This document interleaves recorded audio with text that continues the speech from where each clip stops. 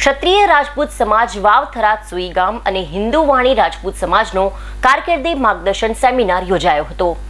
આ કારકિર્દી માર્ગદર્શન સેમિનારનો સૌપ્રથમ દીપક પ્રગટાવી ચાલુ કરવામાં આવ્યો હતો. આ કાર્યક્રમ ઉદયસિંહ રાઠોડ, પૂર્વ ડીઈઓ વિક્રમસિંહ પરમાર, સુરેન્દ્રનગર રાજેન્દ્રસિંહ રાઠોડ, નાયબ સચિવ ગાંધીનગર અધ્યક્ષ સ્થાને યોજાયો હતો. આ કારકિર્દી માર્ગદર્શન સેમિનારમાં મોટી સંખ્યામાં વિદ્યાર્થીઓ જોડાયા હતા.